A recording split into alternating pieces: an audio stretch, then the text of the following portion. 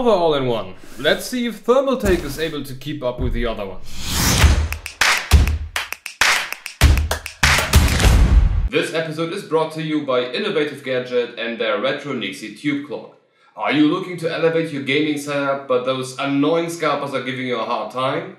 Well, there is more than one way to get that FPS counter up. Meet the Retro Nixie Tube Clock. It looks retro, it looks cool, but most important, it got RGB.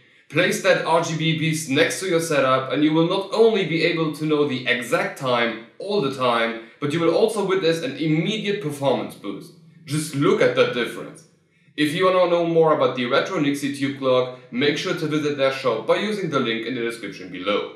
So, today we are going to have a look at Thermaltake's approach to small all-in-ones, the TH120 ARGB. On the spec sheet, we are looking at a 120mm all-in-one with a 27mm thick radiator. It is compatible with every relevant socket with up to AM4 for Team Red and LGA 1200 for Team Blue. There is not much known about the pump except that it is pushing at 3300 RPM. The helping fan is spinning at 1500 RPM, pushing slightly less than 60 CFM at 1.31mm of water while yelling at 27 dB. The tubes are sleeved, 400mm long, pretty thick and adjustable at the water block. Of course both fans and the water block come with some nice looking RGB. To control them, Thermaltake is using some proprietary plug but you can immediately adapt it to the standard 5V addressable and control it with the usual software. For those who do not have a ARGB port on the mainboard, Thermaltake includes a SATA powered remote which can control the RGB mode, color and speed. The big copper block does not come with pre-applied thermal paste but Thermaltake made sure to include some inside of the bag of mounting hardware. Okay, so I do not really have an issue with Thermaltake using proprietary plugs because it's directly adaptable to 5 volt, but then I don't really see a reason why they bothered in the first place. If you end up needing to use the adapter anyway, why don't you just use the standard to begin with? But that's okay. But what is not so much okay is that both the fan and the pump are using a freaking 3-pin header, not PWM. This should definitely be PWM. Now, that being said, I just want to point out how ridiculously long these wires are. And if we use the 5V RGB adapter, the complete RGB cable ends up being longer than I am high. Why would you want that? On the installation part, it is still pretty much the standard. Remove the backplate if there is any, mount the backplate with the marked screw holes, of AMD or Intel depending on your platform, clamp it down with some spacers, use the right mounting bracket for the water block, according of course again to your, to your platform, and then just screw it down.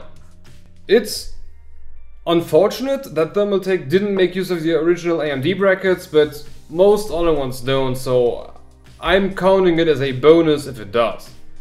Okay, that being said, let's first put it in the system.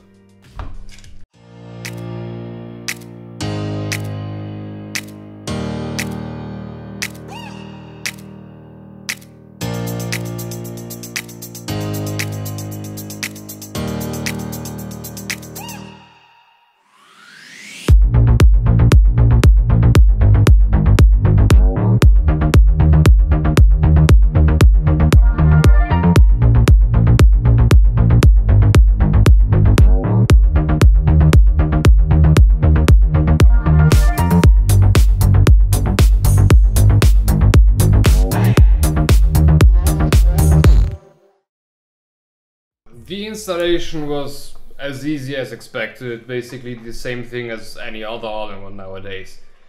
Except of course for the ridiculously long cable. I mean, it, it may seem like you would want that long of a cable, but, but where do you put it? That's like two meters of cables. Anyway, installed in a rig, it, I think it looks nice. I do like the water block.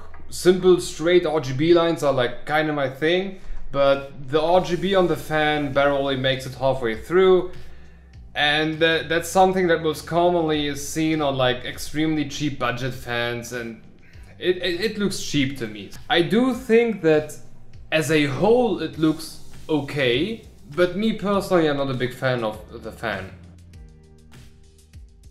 Let's get to performance. We tested the TH120 on our test bench with a Ryzen 3700X at 4.5 GHz. And out of the box, the all-in-one was able to keep the 3700X at 79 degrees C. Not the best, but still keeping up with the really bad stuff. Then we normalized the fans with Arctic P12. Here the TH120 was able to get the temps down to 77 degrees C.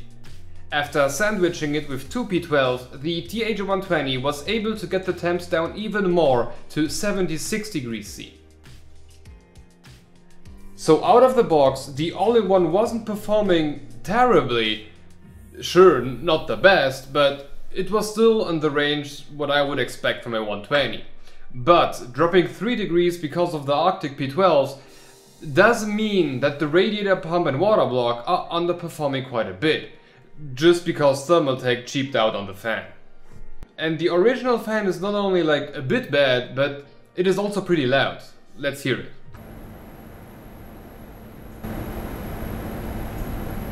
So in general, it would have been much better both from a noise and performance standpoint if the fans were just better. But to sum up the TH120, it, it does look nice, except for the fan. The tube length and quality is alright, compared to the all-in-ones we had so far. And of course the wires are sleeved, the, the same applies for the wires. The RGB software and hardware control out of, out of the box is nice. And I still think we could count the ridiculously long cables as, as a positive thing. But no PWM on neither the fan nor the pump, having proprietary plugs is, is just kind of annoying. Uh, and believe me, those are fragile as install it five times and, and you're done. And the performance is mediocre at best. So all in all, I cannot recommend it. It is currently going for around 70 euros or, or dollars, and that is pretty near something like the NZXT Kraken M22, which beats it in basically every category. And that, while I had things like the Deepcool L120 V2 that performed way better at three quarter that price. So compared to basically everything on my charts, it is overpriced and if there is no special reason why you would want to go with this, because maybe like a Thermaltake theme build, have a look at our other all-in-one reviews. But just in case, I will still put manufacturer and Amazon affiliate links down in the description below if you really want to check them out. But if not, maybe have a look at the NZXT Kraken M22 that I already mentioned. In my opinion, it looks it looks way better and performs top notch. Anyway, I hope you've enjoyed it, and make sure to leave your opinion with a thumb up, thumb down, or the comment section below. And make sure to be subscribed with the bell icon to never miss another video.